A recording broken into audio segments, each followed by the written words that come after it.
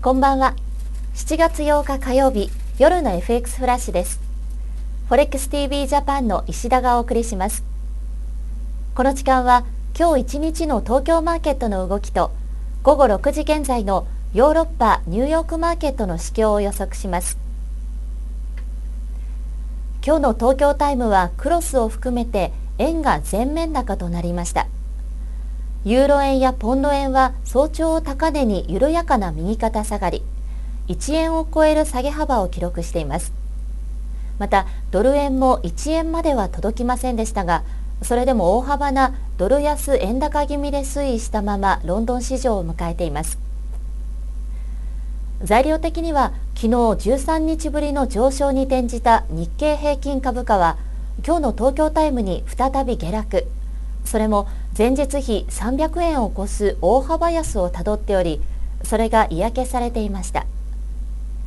またその後オープンしたヨーロッパの株式市場はほぼ全面安の展開で円買いに寄与していたようです。なお別途 G8 筋からドイツメルケル首相がサミットの経済に関する声明に為替に関する文言を盛り込むよう主張したなどとする報道も観測されており一部で話題となっていました。続きまして欧米市場の見通しです。ドル円相場をテクニカルに見た場合移動平均の200日線が位置する107円65銭から70銭がザラバ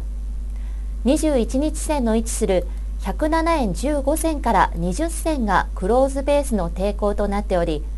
ドルは上げ渋っている感を否めません。この後の欧米タイムにかけてもドルの上値目処はその移動平均の2つの線でそれらをめぐる攻防が注目されそうです。一方それに対するドルのサポートは一目均衡表の転換線が位置する106円55銭レベル。基準線の位置する106円22銭106円レベルなどとなります。そうした中この後の欧米タイムに予定されている主な材料はご覧の通りです。今日は材料的に見てアメリカの経済指標などでそれほど大きな発表は予定されていません。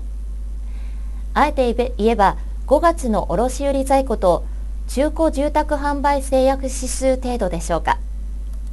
しかしイベント関係では FRB アメリカ連邦準備制度理事会のバーナンキ議長とポールソンアメリカ財務長官がアメリカ連邦預金保険公社で講演を実施する予定となっておりそれを注視している市場参加者は少なくないようです。要人発言には一応注意してください。なお連日指摘していることですが依然として為替市場の価格変動と高い連動性を保っていますのでニューヨーク原油価格やニューヨークダウをはじめとする欧米の株価動向には今日も注目をしてください。以上夜の FX フラッシュを終わります。この後午後11時からニューヨークトゥデイ現地キャスターのレミさんがお送りします。